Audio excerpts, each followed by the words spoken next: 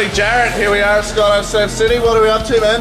My birthday. It's your birthday. Happy birthday. Thank you. Hey, um, any final words to say to friends and family? Hope I make it.